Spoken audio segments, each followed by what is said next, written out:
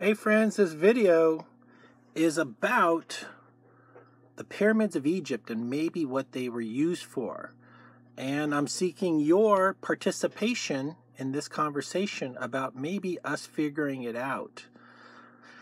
Because I think it's a power station, and I actually think that there there is the ability to actually replicate the pyramid in a modern way where we could actually make electricity. I know that sounds very controversial. Controversial. Uh, this might be 15 minutes long. Uh, we're going to talk about a lot of electronics and stuff and science. Let's get started. Okay, so the Earth has its own frequency, and it's six hertz.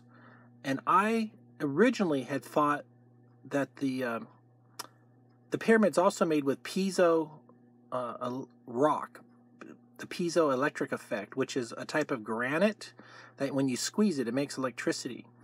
And uh, there's a person making some road tiles in California, and they're saying that they could put this on all the highways, they could power California with this. That's how much electricity there is. And this is the technology that makes airbags go off. Well, one of the technologies that when it vibrates, it makes electricity. So the pyramid is made with a lot of this piezoelectric rock inside it. So there's the subchamber of the pyramid.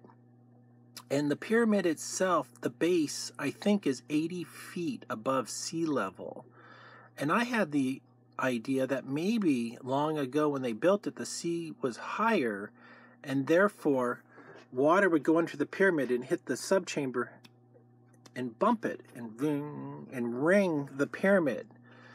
And I think the King's Chamber and the Queen's Chamber and the Grand Gallery, and they found this new hidden room.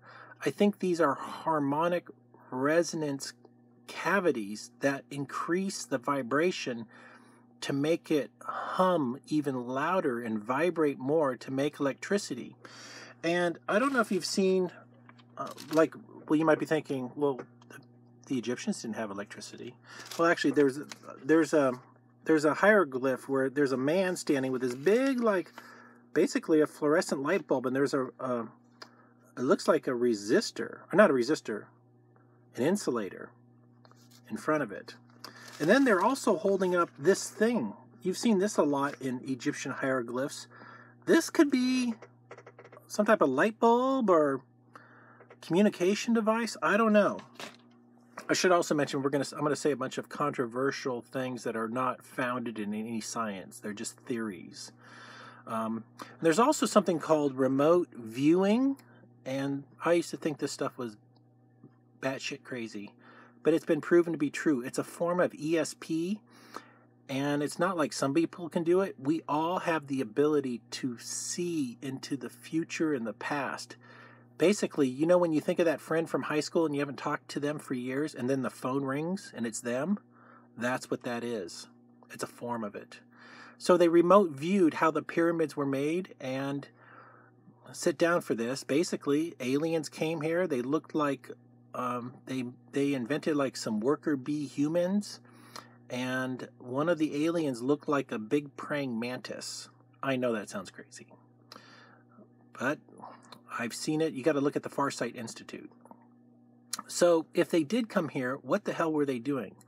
There's the uh, one guy who proved that they're laid out in the shape of Orion, the star cluster, the star, the the stars, Orion's belt, and um, I actually think that the pyramids were an energy power station to put electricity into the earth to create the ability to use these light bulbs right here in the Valley of the Kings, where they did all the complex tombs.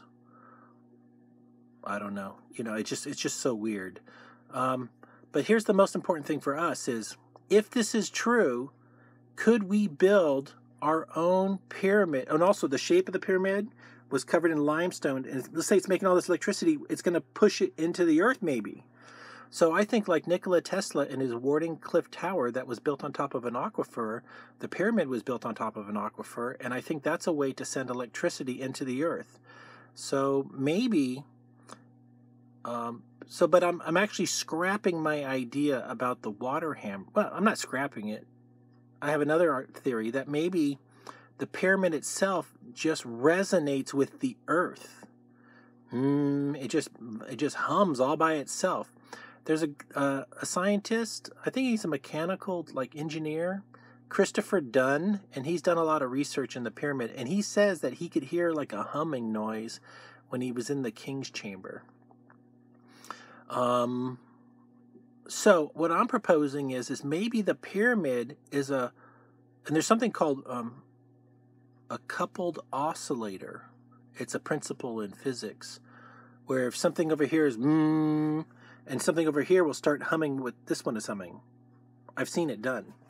So I think that the pyramid is a coupled oscillator to the earth. And when it oscillates, it vibrates and shakes that piezoelectric rock and makes a lot of electricity.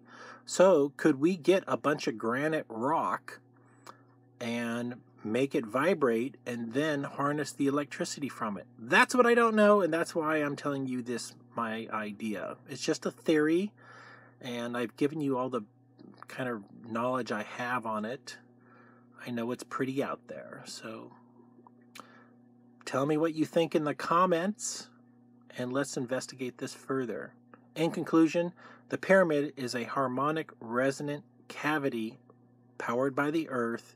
It vibrates piezo rock and makes electricity, then shoves the electricity into the earth like Nikola Tesla did in Colorado with his power station. And he could put a light bulb in the soil and it would light up, I think, up to 100 miles away. So, thanks for hearing me out. Cheers.